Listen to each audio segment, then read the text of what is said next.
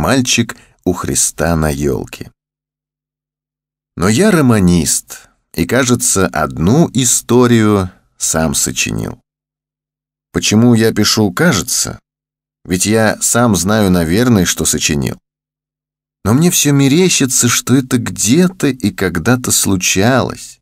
Именно это случилось как раз накануне Рождества, в каком-то огромном городе и в ужасный мороз. Мерещится мне, был в подвале мальчик, но еще очень маленький, лет шести или даже менее. Этот мальчик проснулся утром в сыром и холодном подвале. Одет он был в какой-то халатик и дрожал. Дыхание его вылетало белым паром, и он, сидя в углу на сундуке от скуки, нарочно пускал этот пар изо рта и забавлялся, смотря, как он вылетает. Но ему очень хотелось кушать. Он несколько раз с утра подходил к нарам, где на тонкой, как блин, подстилке, и на каком-то узле под головой вместо подушки лежала больная мать его. Как она здесь очутилась? Должно быть, приехала с своим мальчиком из чужого города и вдруг захворала. Хозяйку углов захватили еще два дня тому в полицию. Жильцы разбрелись, дело праздничное, а оставшийся один халатник уже целые сутки лежал мертво пьяный, не дождавшийся праздника. В другом углу комнаты стонала от ревматизма какая-то восьмидесятилетняя старушонка, жившая когда-то и где-то в няньках, а теперь помиравшая, одиноко, охая, брюзжа и ворча на мальчика, так что он уже боялся подходить к ее углу близко.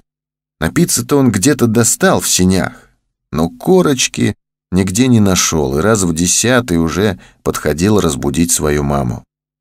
Жутко стало ему, наконец, в темноте. Давно уже начался вечер, а огня не зажигали.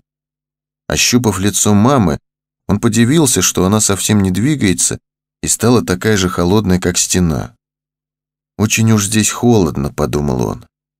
Постоял немного, бессознательно забыв свою руку на плече покойницы, потом дохнул на свои пальчики, чтобы отогреть их, и вдруг нашарил на нарах свой картузишко, потихоньку ощупью пошел из подвала. Он еще бы и раньше пошел, да все боялся вверху на лестнице большой собаки, которая выла весь день у соседских дверей. Но собаки уже не было, и он вдруг вышел на улицу. Господи, какой город! Никогда еще он не видал ничего такого. Там, откуда он приехал, по ночам такой черный мрак, один фонарь на всю улицу. Деревянные низенькие домишки запираются ставнями, на улице чуть смеркнется никого, все затворяются по домам и только завывают целые стаи собак, сотни и тысячи их воют и лают всю ночь. Но там было зато тепло, ему давали кушать, а здесь, Господи, кабы покушать. И какой здесь стук и гром, какой свет и люди, лошади и кареты, и мороз, мороз. Мерзлый пар валит от загнанных лошадей, из жарко дышащих морд их. Сквозь рыхлый свет звенят об камни подковы, и все так толкаются. И, Господи, так хочется поесть. Хоть бы кусочек какой-нибудь. И так больно стало вдруг пальчиком. Мимо прошел блюститель порядка и отвернулся, чтобы не заметить мальчика. Вот и опять улица. Ох, какая широкая! Вот здесь так раздавят, наверное. Так они все кричат, бегут и едут. А свету-то, свету-то! А и это что? Ох, какое большое стекло! А за стеклом комната, а в комнате дерево до потолка. Это елка.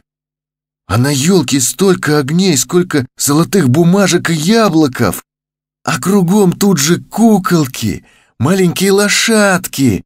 А по комнате бегают дети, нарядные, чистенькие, смеются, играют и едят и пьют что-то. Вот эта девочка начала с мальчиком танцевать. какая хорошая девочка! Вот и музыка сквозь стекло слышно.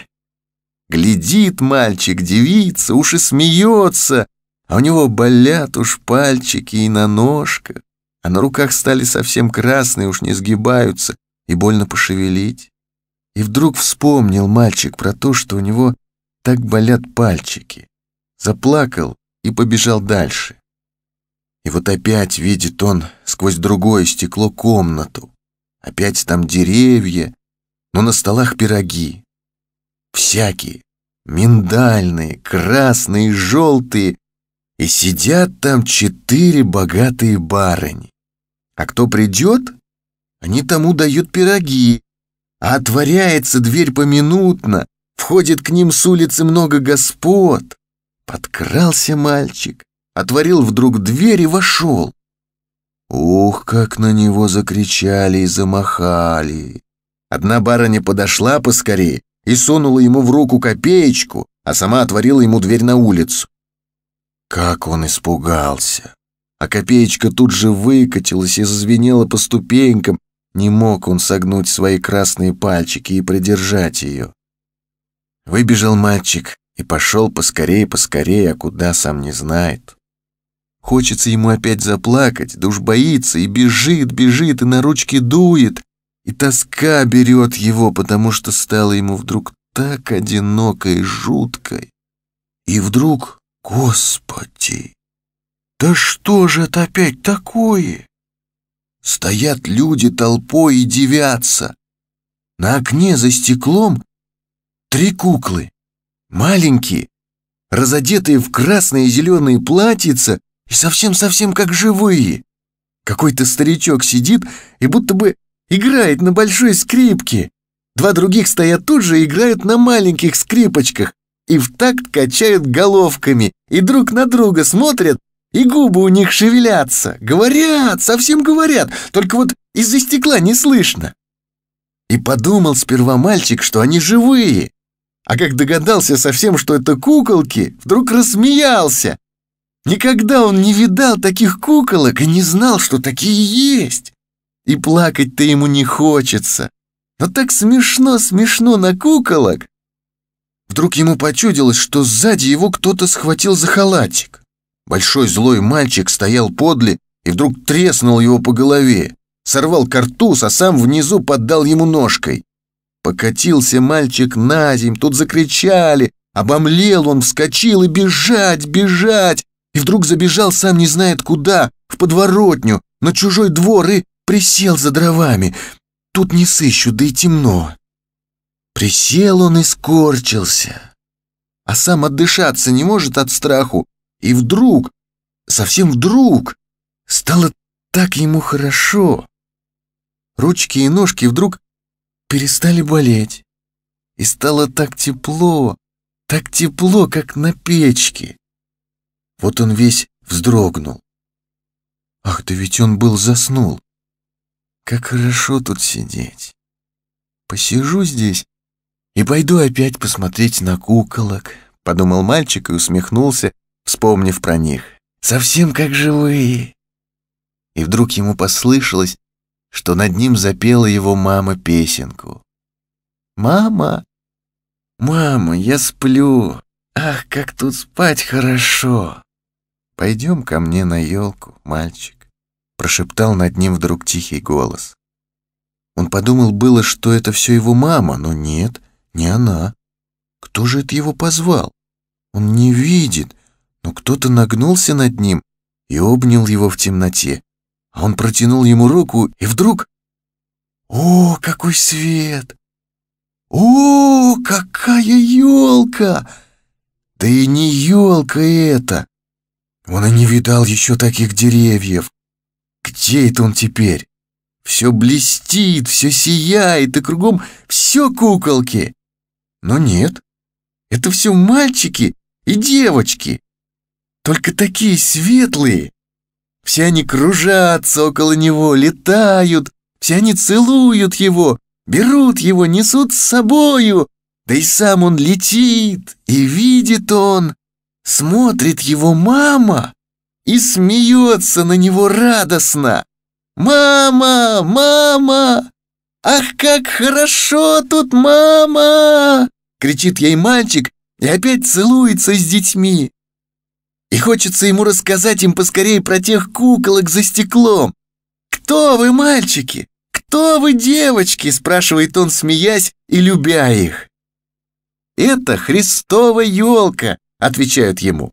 У Христа всегда в этот день елка для маленьких деточек, у которых там нет своей елки. И узнал он, что мальчики эти и девочки все были все такие же, как он, дети. Но одни замерзли еще в своих корзинах, в которых их подкинули на лестнице к дверям петербургских чиновников. Другие задохлись у чухонок от воспитательного дома на прокормление. Третьи умерли у иссохшей груди своих матерей во время самарского голода.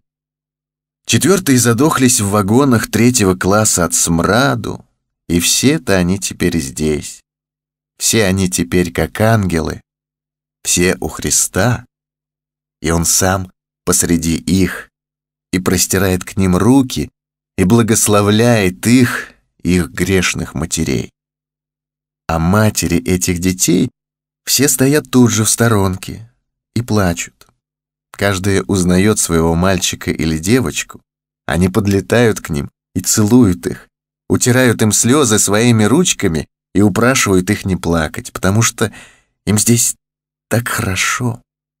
А внизу, на утро, дворники нашли маленький трупик забежавшего и замерзшего за дровами мальчика. Разыскали и его маму. Та умерла еще прежде его. Оба свиделись у Господа Бога в небе. И зачем же я сочинил такую историю, так не идущую в обыкновенный разумный дневник, да еще писателя? А еще обещал рассказы преимущественно о событиях действительных. Но вот в том-то и дело. Мне все кажется и мерещится, что все это могло случиться действительно. То есть то, что происходило в подвале и за дровами.